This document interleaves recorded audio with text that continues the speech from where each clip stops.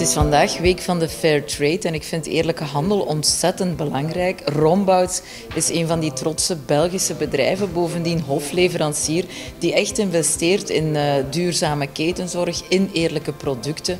En ik vind dat uiteraard zeer belangrijk als minister van Ontwikkelingssamenwerking, dat de boeren die aan het begin van het proces uh, staan, dat die inderdaad een eerlijk loon hebben, zodat wij ook met een gerust hart kunnen een kopje koffie drinken, dat bovendien zeer lekker is en uh, zo ervoor kunnen zorgen dat ook boeren een.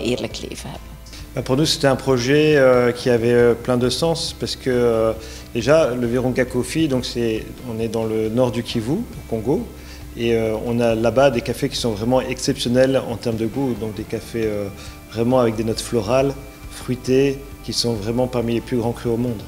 Après, bien sûr, il y a toute la notion de développement par rapport au parc de Virunga, parce que c'est aussi une zone qui est très pauvre, malgré les ressources. L'activité caféière, ça permet aussi d'assurer une source de revenus supplémentaires à la population locale qui, euh, effectivement, euh, grâce aux conditions fair trade, peut euh, scolariser leurs enfants.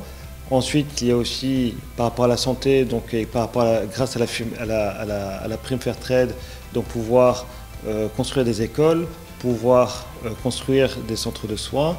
Et donc, c'est une variante qui est assez, qui est assez intéressante pour nous. Donc, en tant que société familiale, Uh, nu, ça nous, ce projet a plein de sens. Het is heel belangrijk dat het Trade for Development Center van Enable uh, lokale coöperatieven, lokale productie, boeren echt coacht om de beste koffieboon uh, te plukken. Ik denk dat het belangrijk is dat Fairtrade koffie echt van goede kwaliteit is. dan betalen mensen ook graag net dat extraatje voor dat hele lekkere kopje.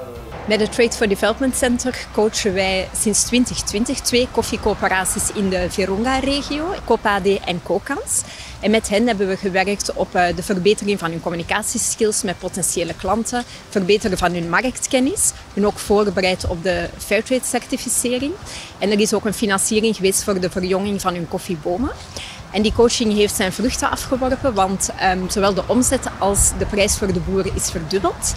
En vandaag leveren zij allebei Fairtrade gecertificeerde koffiebonen aan Rombouts voor de productie van hun Virunga koffie.